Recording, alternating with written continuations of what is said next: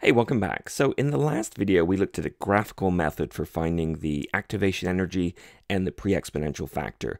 And we saw that if we plot the natural logarithm of the rate constant versus 1 over temperature, we get a straight line graph whose slope is equal to minus the activation energy over r, so we just multiply the slope by minus r to get the activation energy, and whose y-intercept is the natural logarithm of a. And if you've got lots of data points, right, so in the last graph we had something on the order of like uh, 10 or 15 data points, you can use a spreadsheet and you get some very nice values for your activation energy and your value of a. But what happens if you've only got two measurements? So there's actually a really terrible way um, that unfortunately is really common. So I'll go ahead and show it to you, but I think it's really terrible. There's a really terrible two-point method for finding those two things, the pre-exponential factor and the activation energy. And so it takes a little bit of math, uh, but here we go. So we saw earlier that K is equal to A times e to the minus EA over RT. That's the Arrhenius equation. We saw that we can take logarithms of it and change it to log K is equal to minus EA over R times 1 over T plus the natural logarithm of a. And if you're not sure how, go back a couple of videos or just go ahead and try and do it yourself and rearrange. Make sure you remember properties of logs. Logs of a times by b, right, is log of a plus the natural log of b. And remember that when we take the log of the anti-log, so uh, we just get back to where we started, which is x. So e to the power of and log, those are anti to each other.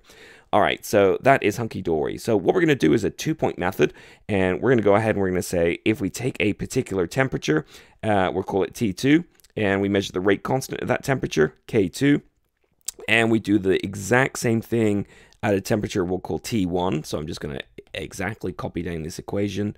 So 1 over t plus the natural logarithm of a, and I'm going to write little ones here and here, we can now solve for the activation energy and the pre-exponential factor from these two equations.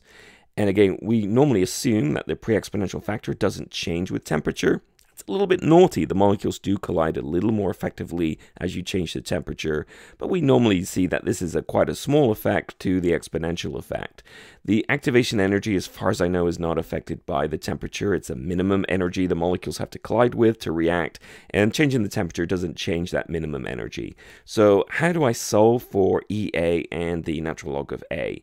So there's a couple of different ways to do it. So uh, the simplest way is just to take these two equations and subtract one from the other. And so now the left-hand side becomes the log of k2 minus the log of k1, and the right-hand side becomes minus ea over r, and actually I'm just going to factor out here, 1 over t2 minus 1 over t1. Can do a couple of other things here.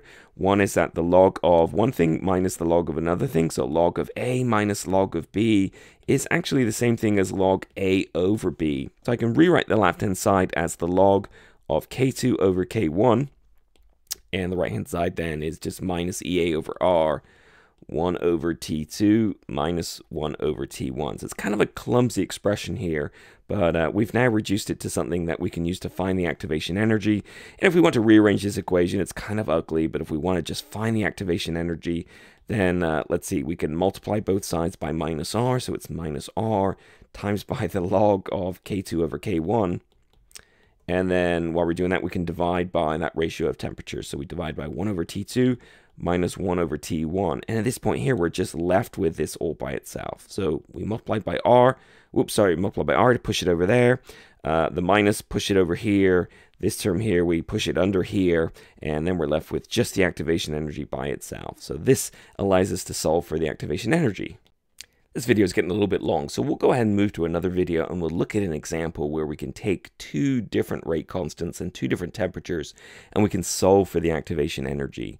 Now, we can also solve for the pre-exponential factor, and honestly, the easiest way to do it is once you find the activation energy, then you just take a rate constant and you take the activation energy and you take the temperature and you just rearrange and you solve for A. So I won't show you how to do it, but uh, once you've got the activation energy, you can substitute back into any one of these equations and just solve for the pre-exponential factor.